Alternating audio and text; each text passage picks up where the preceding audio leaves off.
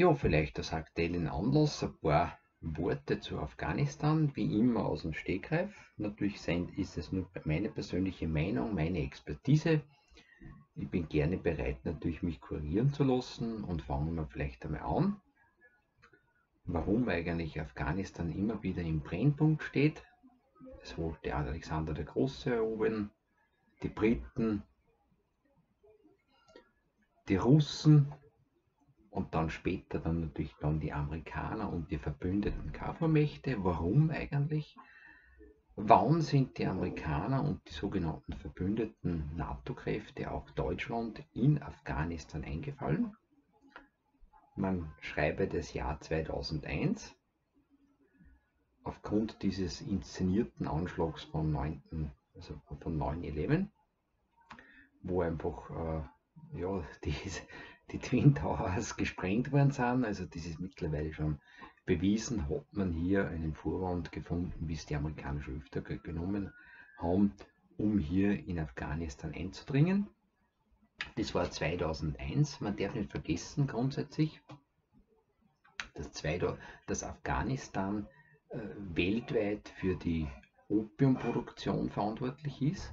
Für die weltweite, es werden glaube ich 80 oder 90 Prozent des weltweiten Opiumbedarfs dadurch gedeckt durch Afghanistan. Opium ist der Rohstoff für Morphium und später für Heroin. Mit Heroin finanziert auch das CIA seine verdeckten Kriege. Das kann man im Brückhaus, die Drogenlüge, nachlesen. Es ist alles recherchiert, man kann alles verforschen. 2001 hat das Taliban-Regime geherrscht da war Afghanistan, kann man sagen, unter Anführungszeichen frei von Besatzungsmächten. Und die Taliban, ein anderer Name, der was eigentlich bekannt, mehr bekannter ist als einige Generationen, sind die sogenannten Mujahedin, sind die heiligen Krieger, die was einer Land verteidigen. Es ist einer Land, einer Kultur, geht niemandem was an. Und die haben natürlich 2001 sofort die Opiumproduktion zum Erliegen gebracht. Das heißt, die weltweite Opium- und Heroinproduktion war somit auf einen absoluten Rekordtief. Wenn man zum Beispiel nachgoogelt, sieht man das sofort in Diagrammen, wo einfach die Opiumproduktion alle Jahre auf ein Rekordniveau war und 2001 dann abgesagt ist. Und dann, wie die Amerikaner und die Verbündeten wieder im Land waren, ist die Opiumproduktion und die Heroinproduktion wieder auf einen normalen Level gestiegen. Also das ist sicher vielleicht ein Grund, dass es hier nicht primär um seltene Ehren und Rohstoffe geht, sondern einfach um Heroin. Und man sieht dann oft auch Fotos, die was mittlerweile schon schwieriger zu finden sind, wo amerikanische GIs diese Opiumfelder bewachen. Ja, das war natürlich 2001. Man hat natürlich nie Kontrolle über das Land gehabt, das ist ganz klar. Es hat dann sehr viel blutige Verluste gegeben und man darf nicht vergessen, viele Afghanen haben natürlich dann mit den Besatzungsmächten kollabiert, also äh, haben natürlich Verbündnisse eingegangen, haben mit denen mitgearbeitet. Das war dasselbe wie zum Beispiel äh, Hitler äh, die Frankreich besetzt hat. Das war aber grundsätzlich auch kein Kriegsverbrechen, weil Frankreich hat vorher bereits äh, dem Naziregime den Krieg erklärt. Das heißt, es war völkerrechtlich und nach der Hager Landkriegsordnung völlig legitim, hier einfach Frankreich zu besetzen. Und damals hat auch Hitler dann Frankreich geteilt. Der Süden war vollkommen unabhängig und das Vichy-Regime hat mit den Nazis damals zusammengearbeitet. So ist in Afghanistan auch. Also die Regierungstruppen, die eingesetzte provisorische Marionettenregierung hat natürlich mit den Besatzungsmächten zusammengearbeitet.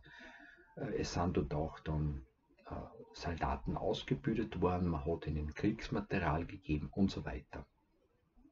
Das Ganze ist über viele Jahre gegangen. Wie dann die Trump-Administration gekommen ist, also Trump, äh, gerade in der Trump-Administration ist es signifikant, dass er einfach hier vier Jahre lang Amerika keinen Angriffskrieg geführt hat und er wollte auch die Truppen wieder zurückholen, nach Hause holen, was er teilweise da getan hat. Und man, man redet jetzt hier von 2021, was ist passiert. Natürlich, man hat es aus der Geschichte nicht gelernt.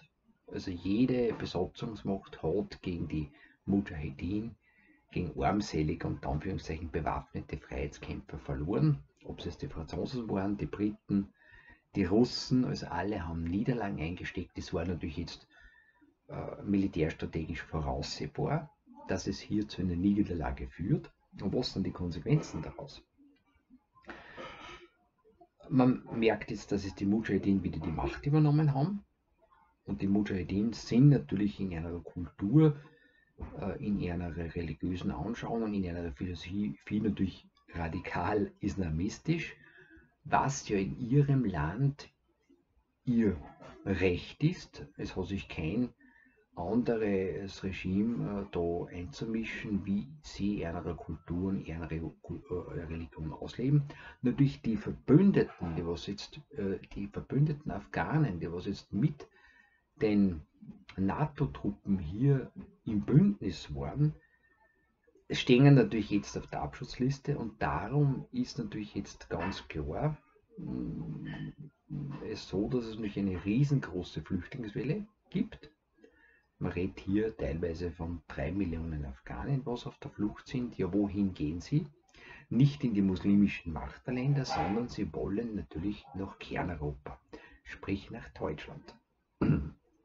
Dass das Ganze natürlich ein abgekartetes Spiel ist, das, was einer globalen Agenda dient, liegt hier offenkundig auf der Hand. Das heißt, man will bewusst das deutsche, äh, uns deutsches Volk damit schwächen. Man will hier Brandherde importieren, äh, wo man natürlich auch sagen muss, nicht die Afghanen, die was jetzt flüchten sind, die Bösen, auch sie sind nur Bauernopfer in einer größeren globalen Agenda, die was hier verheizt werden. Man merkt, viele spielen hier mit und natürlich dieses ganz klar, wenn wir jetzt Afghanistan aufnehmen, dann werden wir natürlich auch Zustände bekommen wie in Afghanistan, sprich den radikalen Islamismus werden wir natürlich hier vermehrt nach Europa importieren. Und ich bin keinesfalls äh, ein Feind des Islam. Ich habe viele Menschen, die was ich kenne, die was dieser Religion auch anhängen, die was ich als meine Brüder und Schwestern betrachte aber natürlich dieser äh, Dschihad und Missionseifer, der was es hier dann wahrscheinlich dann wieder vermehrt vonstatten geht, den lehne ich natürlich ab, weil jeder Volk und jede Kultur sollte ihr seine freie Meinung behalten.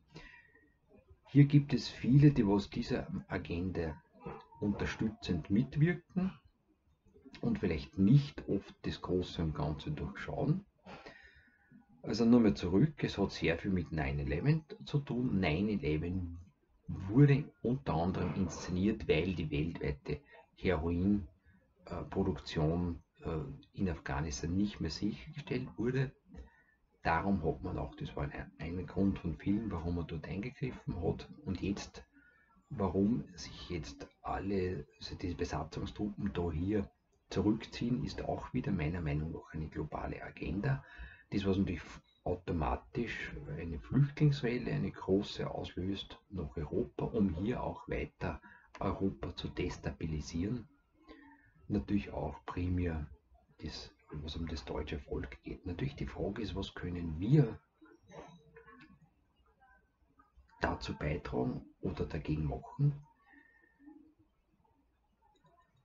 Ich erinnere mich einfach an ein Wort aus den Heiligen Schriften, sehe zu es und erschreckt nicht, wie Jesus immer gesagt hat.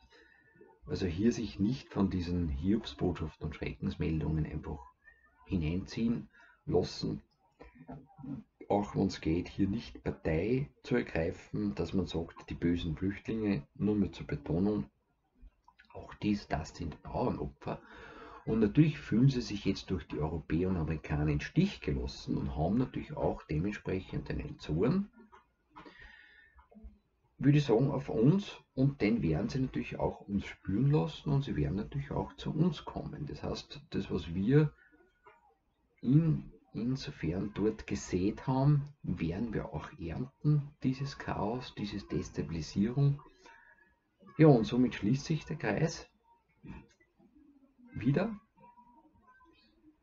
Und natürlich wird es nur sehr interessant werden, die Entwicklung. Ich kann wieder sagen, sehe zu und erschreckt nicht und lasst euch nicht hier hineinziehen in irgendwelche Parteiungen und Spaltungen, Und es sind, äh, natürlich haben die Politiker hier sehr wohl Schuld, sie sind Befehlsempfänger, aber es ist hier eine globale Agenda, die was hier am Werk ist, die was bewusst diese Dinge steuert.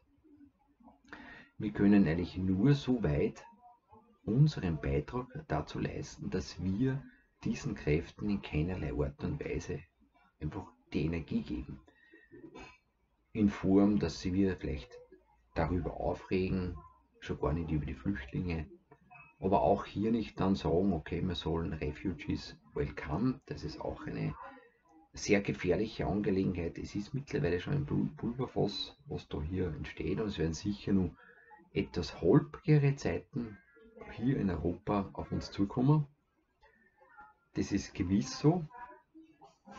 Und ja, wir werden auch da durchgehen, durchgehen müssen. Und alles basiert halt einfach auf das Prinzip Saat und Ernte.